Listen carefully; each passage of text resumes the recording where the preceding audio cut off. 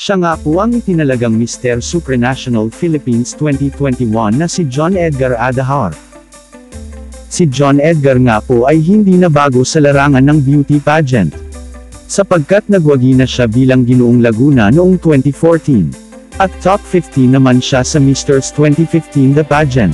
Bukod nga sa pagpa-pageant ay isa ring mixed martial artist itong si John Edgar at nag-champion na nga rin siya sa URRC Global Welterweight.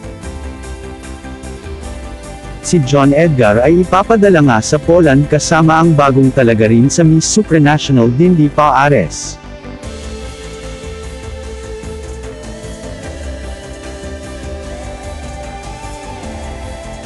Ano po ang masasabi niyo kay John Edgar? Malakas kaya ang laban niya sa nasabing kompetisyon? Mag-comment lang po kayo below. Nawa po ay naibigan niyo ang aking video.